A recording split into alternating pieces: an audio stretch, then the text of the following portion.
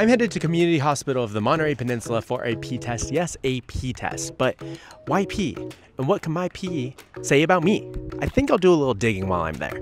Okay, so my big question is why pee? Why are we collecting pee samples from patients? That's a really great question. Urine is actually one of the first laboratory tests that we ever had.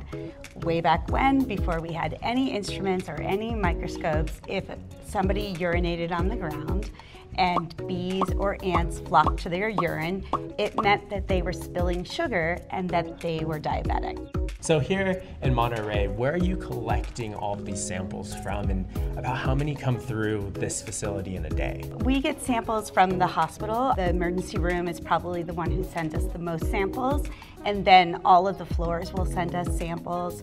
In addition to that, we have four collection sites outside of the laboratory here. We have couriers that go around to doctor's offices. We've got our own P postman system going on we here. Do. We? Wow, I think postman. it's the P mail. The P mail.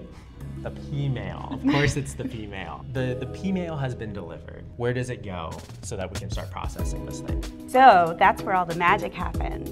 Do you want to know? Please take me. All right, let's go. Okay, here we go. Welcome to the laboratory. And in we go.